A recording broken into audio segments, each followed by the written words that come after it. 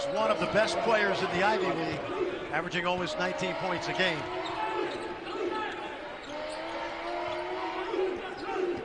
True freshman Gradey Dick. First shot goes up from Jalen Wilson. Ajogbor on Adams turns over that shoulder off the left side, deflected out, and here comes Harris on the run. He's got Wilson with him, bounces it to him, and he lays it in. He was at Northfield Mount Hermon. Wow. On Ivy League players, nice pass inside. Wilson a dribble, makes a move and runs it in. A pet peeve of mine when you teach guys to play the right way. Well, if the whistle's not blown there, that's an easy two points. There's no question about it. That's why it's a killer.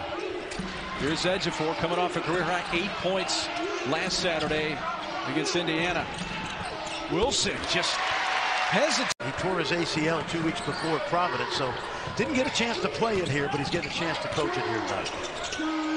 Yeah, that was seven years ago. This is that was the only meeting between these two schools. This is meeting number two. Wilson. Zone again. If you're if you're Harvard, you got to look behind you on the baseline for the lobs.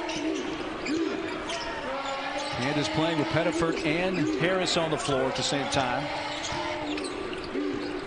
Wilson along two. League, it may not work here.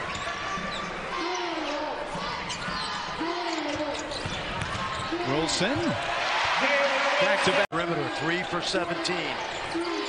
Harris in and out, tip. And Jalen Wilson with Dajuan Harris. Back to Jalen. Second try. Yep. There's points. One. Team in the Ivy League, but Harvard coming off a sub 500 season has, has played really well here in a tough place.